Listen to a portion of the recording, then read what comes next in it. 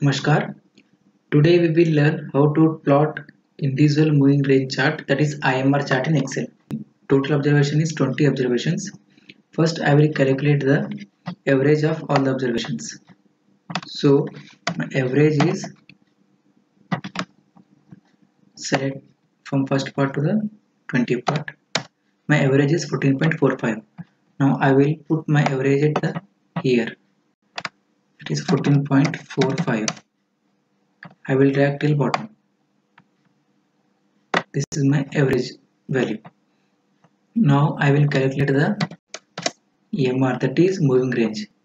For calculating moving range you have to put formula ABS absolute 14 minus 15 say enter.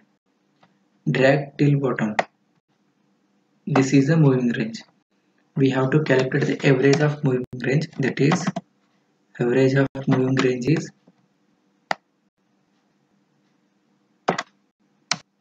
Two point one five eight. So I will put two point one five eight here, and I will drag till bottom. We have to calculate upper control limit and lower control limit.